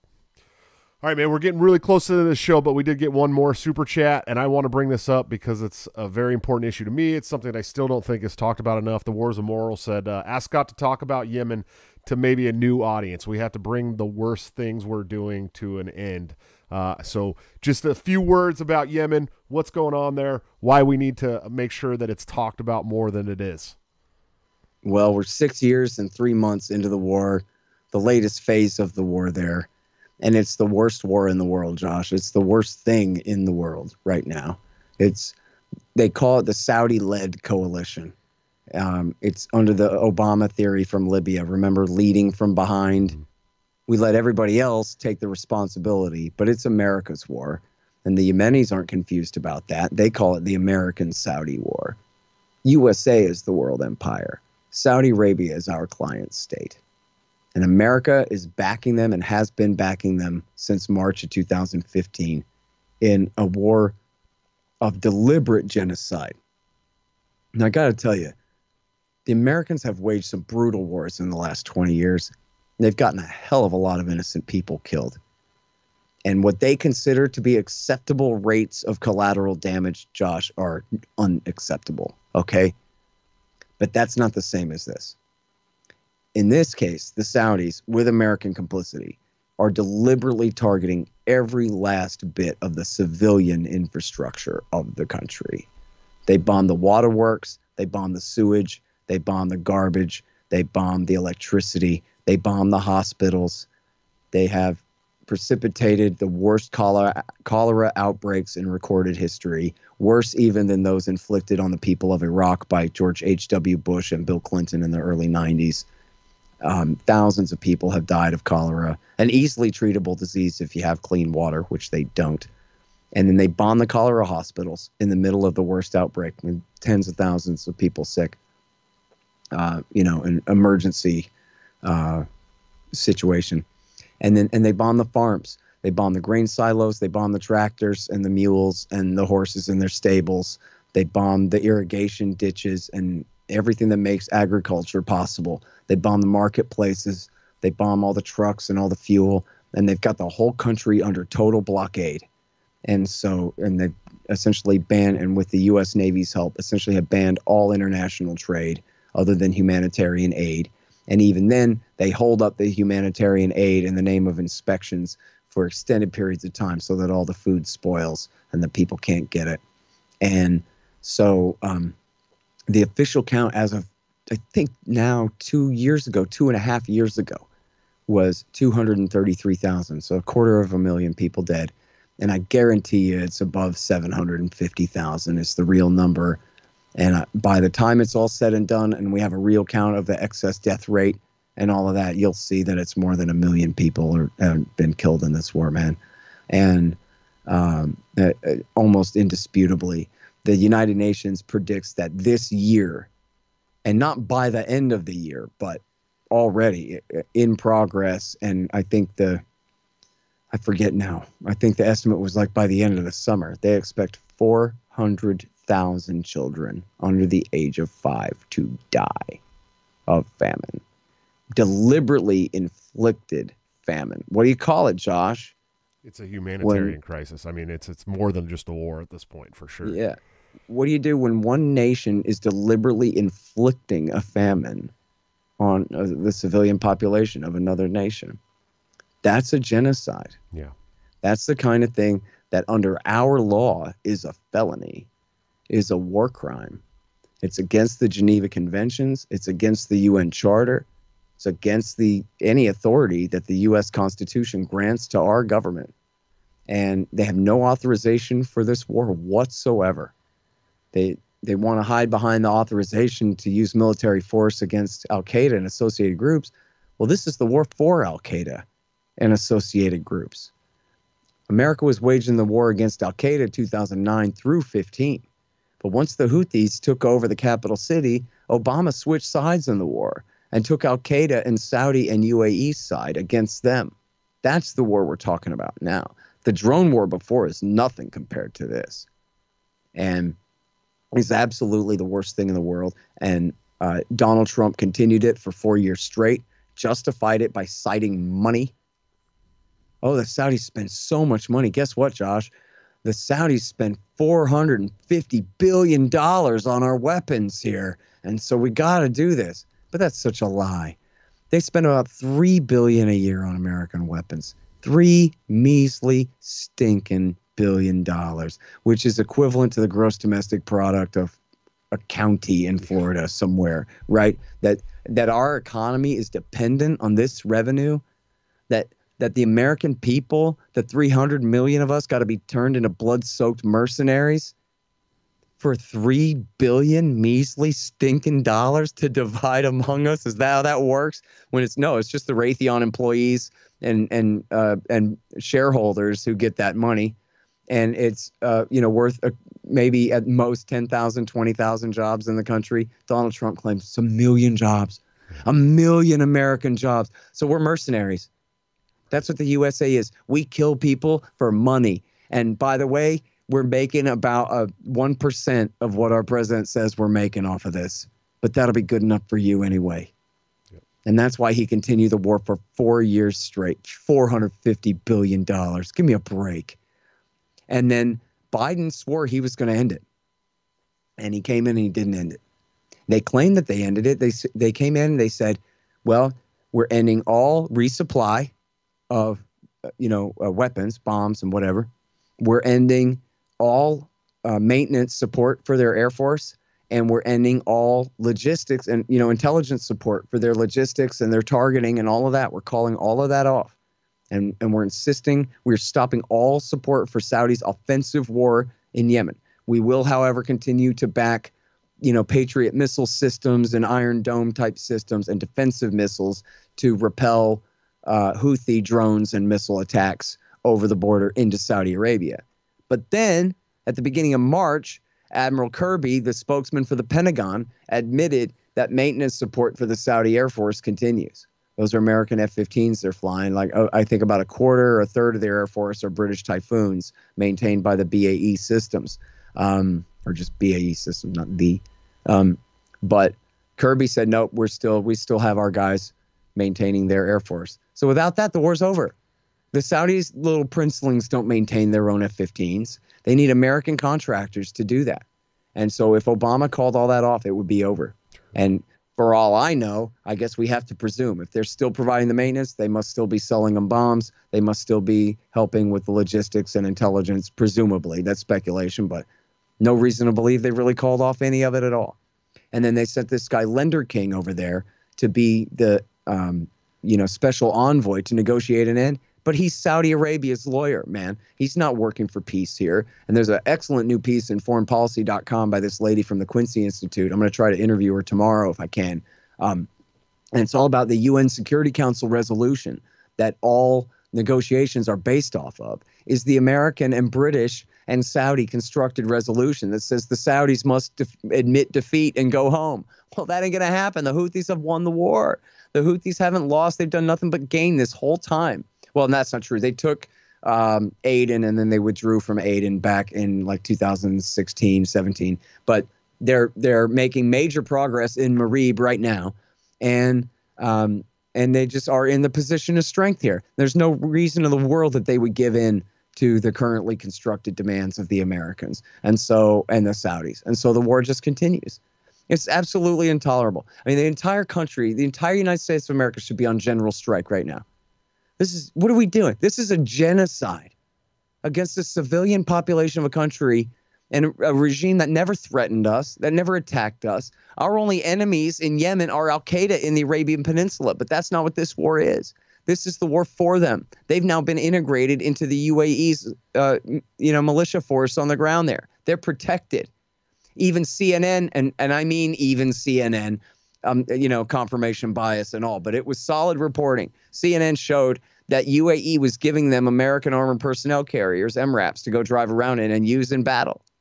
Uh, that America is directly arming the guys who helped coordinate the September 11th attack, the guys who bombed the USS Cole and tried to bomb the Sullivans, and who uh, coordinated, who who sent Abdul Muttalib, uh, Muttalib to uh, do the underpants bomb over Detroit in 2009, which, by the way, the Americans deliberately let him into the country because they wanted to follow him around, and they almost got a plane exploded over a major American city for their negligence. Um, and then they also, these guys were behind the Charlie Hebdo attack and a couple of the other massacres in France, I think in Nice and the, the um, uh, Eagles of Death Metal concert in the mid uh, 2000 teens there, you know, five, six years ago. That's who these guys are ruthless, real ass Osama bin Ladenite Al Qaeda terrorists. And that's the side we're fighting for against a government and a population that did nothing to us. Nothing. Sure, sure. Man, every time. Every time I have you on, I learn a million things, Scott. I really do. Everyone needs to go check out Scott's newest book, Enough Already, for sure. Uh, if you don't have that, and Fool's Errand, those are the, the two books that I have. Um, you have other books as well, Scott.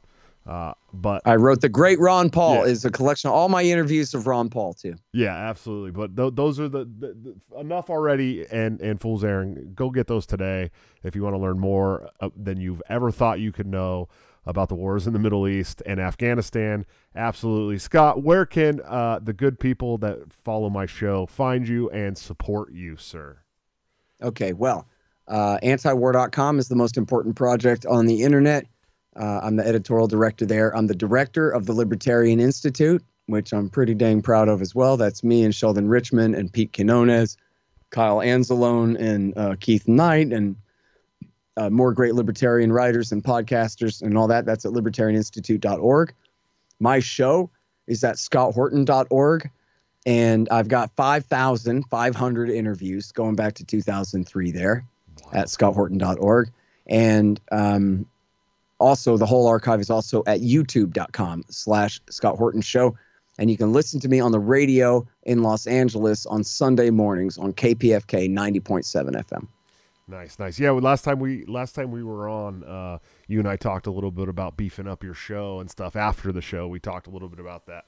Uh, doing, Yeah. doing a live show and all that stuff maybe someday. So that that's a, some cool stuff to look out for from uh, Scott. Scott, man, I appreciate the hell out of you. I really do. I don't think Thank you, Josh. I don't Happy think there's here, any if if anyone close to as good as you are uh, on just about everything, man. So we we really That's true. appreciate you. Appreciate that, dude. Absolutely, brother. Thank you so much. We'll, we'll see you soon, I'm sure.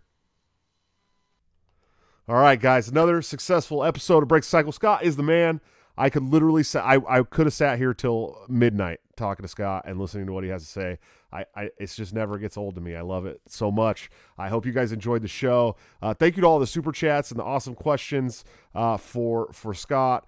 Um, he sometimes I don't ask the right ones, so I'm glad that you guys did. Uh, definitely check out our sponsors at Lorenzoti.coffee uh, for all your delicious Italian coffee needs delivered directly to your door. Bring the taste of Italy home.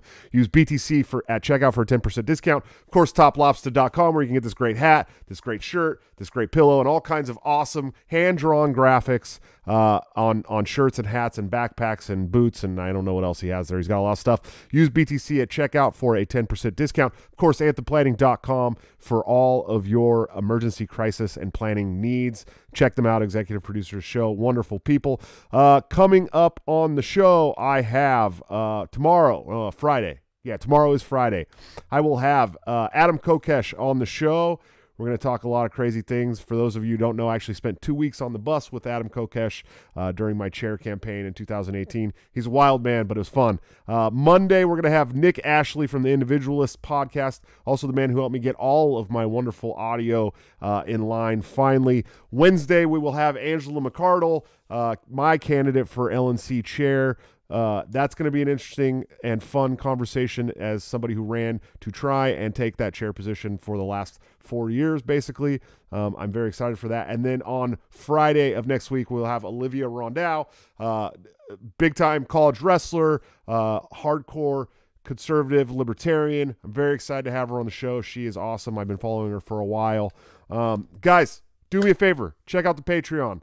Help me keep this show afloat. Uh, check out patreon.com backslash break the cycle JS. If you hate Patreon because they're really yeedy, you can check out uh, Subscribestar. Same thing, subscribestar.com backslash uh, break the cycle JS. There are some really cool tiers on there. We're adding a new tier, uh, not a new tier, a, a new perk to all the tiers. If you become a supporting member of the uh, Patreon for Break the Cycle, you will now get uh, first dibs on Top Lobster gear before it goes out to the general public at a very discounted price. So that's just one more cool perk. There's already a lot of cool perks on there. Uh, of course, you can also join the memberships for the YouTube channel now. Uh, it's very cheap. You get uh, really it's, so there are badges now, special badges for all you wonderful people who are always in the chat, uh, which is going to be really cool. And there's going to be different levels for how long you've been a member of the channel. And then there's going to be some really cool custom emojis you can use to talk smack in the chat, all drawn by uh, the wonderful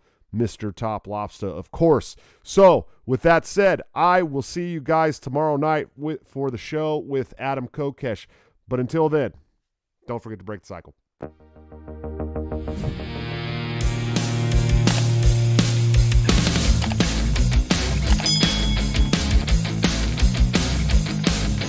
Due to legal reasons, I just have to explain. The lyrics of my last song may seem to contain a violent call to action in the verse and refrain, but I just it in Minecraft.